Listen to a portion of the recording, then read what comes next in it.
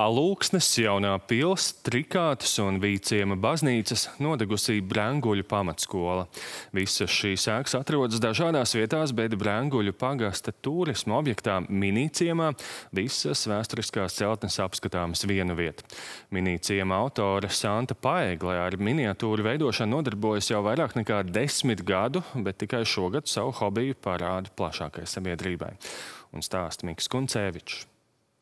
Minīciems apmeklētājiem kļuva publiski pieejams jūlija vidū, bet cilvēki jau iepriekš bija braukuši pie Santas Paiglas ciemos uz mājām, lai apskatītos dažādu piļu un muižu miniatūras.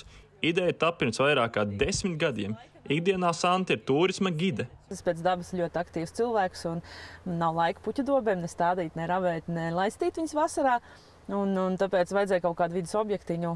Sāku miniatūras pamēģināju vispirms eh, tuvāko baznīcu un pēc tam nu, tā gāja tālāk. Un, eh, un, nu, šobrīd gan arī atkal nu, tās miniatūras šeit ir pārvestas, un atkal mājas eh, zāles pleķis ir palicis bez nekā. Jādomā, jauna ideja.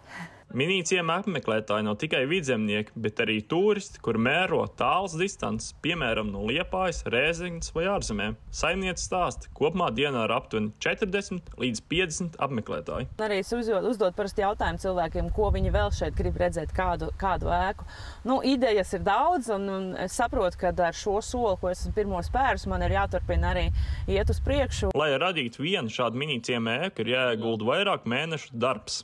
Mm, pirmā, pirmā kārtā ir tā uzmērīšana, tā visa apsakošana, tad es uh, zīmēju datorprogrammā viens pret vienu, tā kā 3D, tad es samazinu 25 reizes mazāk.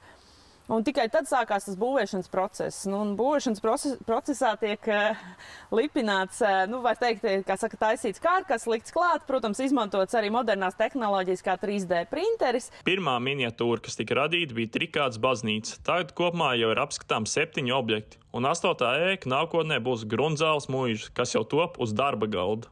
Un nākotnes plānos uh, ir veidot nevis tādas ēkas, arī, kas ir esošas, jā, tādas arī, nu, piemēram, pīlis, tur ne, alūksnes jaunā pils, kas ir nu, joprojām esoša vai stāmeriens. Bet eh, arī veidot tādas mužas, kas jau varbūt ir zudušas. Santa Paigla vēlas uzbūvēt savā ciematiņā tādas pils un mužas, kuras nu jau vairs ir tikai drupas. Viņi pēta fotografijas, arhīvus un tad veido telpas tēlu. Mikls Kuncevičs, Latvijas televīzija.